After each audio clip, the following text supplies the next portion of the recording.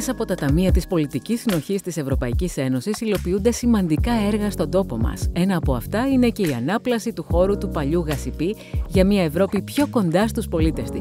Ένα έργο που θα προσφέρει δύο επίπεδα χώρων στάθμευσης, πλατεία με καφεστιατόρια και πολιτιστικούς χώρους, συνεισφέροντας έτσι στην αναβάθμιση του αστικού περιβάλλοντος και στην προώθηση της βιώσιμης αστικής κινητικότητας.